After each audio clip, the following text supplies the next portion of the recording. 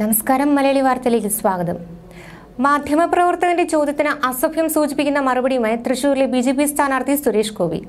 അനാവശ്യ വിവാദങ്ങളിലേക്ക് വലിച്ചു കൊണ്ടുപോകുന്നതിന് പിന്നിലെ അജണ്ട എന്താണെന്ന ചോദ്യത്തിനായിരുന്നു സുരേഷ് ഗോപിയുടെ പ്രതികരണം. മാധ്യമപ്രവർത്തകയെ അപമാനിച്ച കേസ് സുരേഷ് ഗോപിക്കെതിരെ നിലവിൽ കേസുണ്ട്. ഒക്ടോബർ ഇരുപത്തിയേഴിന് ആസ്പദമായ സംഭവത്തിൽ കോഴിക്കോട് തളിയിൽ മാധ്യമങ്ങളോട് സംസാരിക്കവേ ചോദ്യം ചോദിച്ച മാധ്യമപ്രവർത്തകരുടെ തൊഴിൽ സുരേഷ് ഗോപി അനുവാദമില്ലാതെ കൈവയ്ക്കുകയായിരുന്നു. മാധ്യമപ്രവർത്തക അപ്പോൾ തന്നെ കൈതട്ടി മാറ്റിയെങ്കിലും സുരേഷ് ഗോപി വീണ്ടും കൈവച്ചു. പോലീസിലും വനിതാ കമ്മീഷനിലും മാധ്യമപ്രവർത്തക തുടർന്ന് പരാതി നൽകി. സുരേഷ് ഗോപി മാപ്പ് പറഞ്ഞ് രംഗത്തെത്തിയെങ്കിലും പരാതിക്കാരി കേസുമായി മുന്നോട്ട് പോവുകയായിരുന്നു ഈ വിവാദം നിലനിൽക്കുകയാണ് ഇത്തരം സംഭവങ്ങൾ ആവർത്തിക്കുന്നത്. അതിനിടെ പത്മജ വേണുഗോപാലിനെ ബി ജെ പിയിലേക്ക് ആരും ക്ഷണിച്ചു കൂട്ടിക്കൊണ്ടു വന്നതല്ലെന്നും പത്മജ സ്വന്തം ഇഷ്ടപ്രകാരം വന്നതാണെന്നും സുരേഷ് ഗോപി തുറന്നടിച്ചു. പത്മജയുടെ ആഗ്രഹം കേന്ദ്ര നേതൃത്വം അംഗീകരിച്ചു. കേന്ദ്ര നേതാക്കൾ പറഞ്ഞാൽ ഇനിയും സ്വീകാര്യം കെ മുരളീധരനും പത്മജയും ആങ്ങളെയും പെങ്ങളുമാണോ എന്ന് അവർ തീരുമാനിക്കട്ടെ എന്നും സുരേഷ് ഗോപി പറഞ്ഞു. ബി ജെ പി പ്രവേശനത്തിന് മുമ്പ് തനിക്ക് എൽ ഡി എഫിൽ നിന്ന് ക്ഷണമുണ്ടായിരുന്നെന്ന് പത്മജ വ്യക്തമാക്കിയിരുന്നു. എൽ ഡി എഫ് പ്രവേശനത്തിന് പത്മജിക്ക് ഇടനിലക്കാരനായത് താനാണെന്ന അവകാശവാദവുമായി ടി ജി നന്ദകുമാരും രംഗത്തെത്തിയിരുന്നു. ഇതിന് പിന്നാലെയാണ് ബി ജെ പിയിലേക്ക് പത്മജയെ ആരും ക്ഷണിച്ചതല്ല പത്മജ സ്വന്തം ഇഷ്ടപ്രകാരം വന്നതാണെന്ന് സുരേഷ് ഗോപി വ്യക്തമാക്കിയത്. സംസ്ഥാനത്ത് നിലവിൽ ഭരണവിരുദ്ധ വികാരമുണ്ട്. അത് പ്രചാരണ വേളയിൽ ജനങ്ങളുടെ പെരുമാറ്റത്തു നിന്ന് മനസ്സിലായി.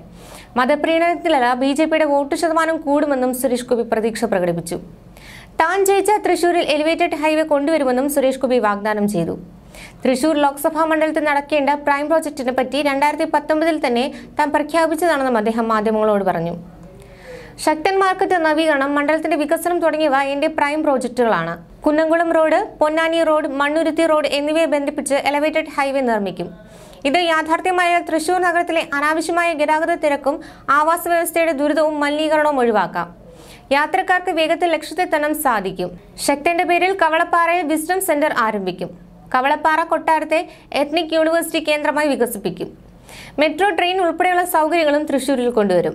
എനിക്ക് മതപ്രീണനമില്ലെന്ന് പറയുമ്പോൾ ജനങ്ങളിലേക്കാണ് ഞാൻ ചെല്ലുന്നത്. ജനങ്ങളിൽ വിവിധ മതക്കാരുണ്ടാകും.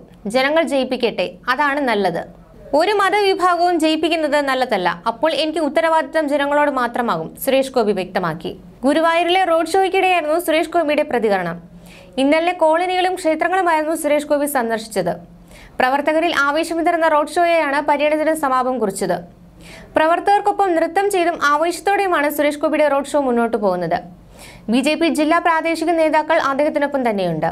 ന്യൂസ് ഡെസ്ക് മലയാളി വാർത്ത.